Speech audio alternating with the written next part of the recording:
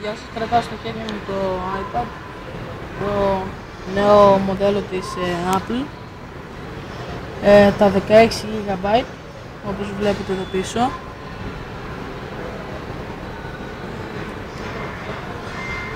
Πάμε να κάνουμε το hands-on του, μας πούμε, πάμε κατευθείαν στο App Store, μόνο που εδώ πέρα δεν το έχω συνδεδεμένο στο ίντερνετ και δεν μπορούμε να να συνδεθούμε, οπότε δεν πειράζει. Πάμε στα, στις φωτογραφίες. Albums, εδώ βλέπουμε ποια albums έχουμε κάνει. Ας πατήσουμε πάνω στις εικόνες. Και κλασικά τα πολύ ωραία τα εφέ μας κάνουν και μεγαλώνουμε τις εικόνες κατά αυτόν τον τρόπο. Και έτσι τις γυρνάμε.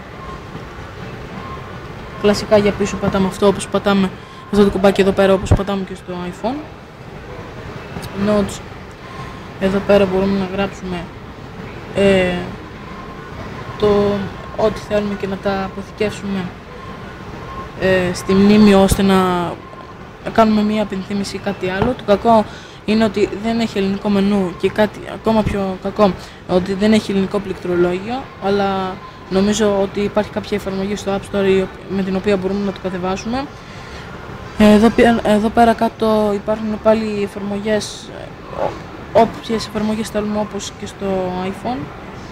Ας πούμε contacts εδώ πέρα έχουν αποθηκευμένες και μπορούν να, να τις ε,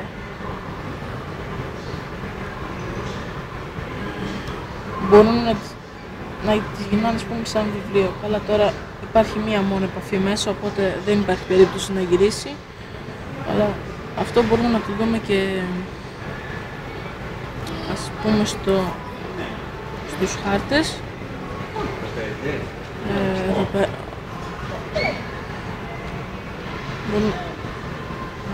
να το maps που εδώ πέρα μπορούμε να, να πατήσουμε που θέλουμε να, να ψάξουμε.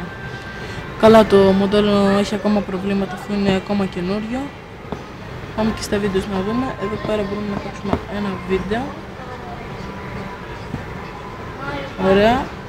Σε όλη την οθόνη χτυπώντας δύο κλικ. Έτσι έχει καλύτερη ε, ανάλυση. Και πατώντας έτσι γεμίζει όλη η οθόνη αλλά η ανάλυση όπως βλέπετε χειροτερεύει. Επίσης έχει και YouTube όπως έχει το iPhone. Πάλι χρειαζόμαστε να συνδεθούμε στο ίντερνετ και πάμε στο iTunes.